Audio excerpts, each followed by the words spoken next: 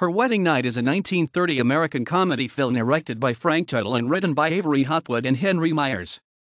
The film stars Clara Bow, Ralph Forbes, Charlie Ruggles, Richard Skeets Gallagher, Geneva Mitchell, and Rosita Moreno. The film was released on September 18, 1930, by Paramount Pictures. Paramount remade the film at the company's Joinville studios in Paris into several other languages, including the French version Let's Get Married.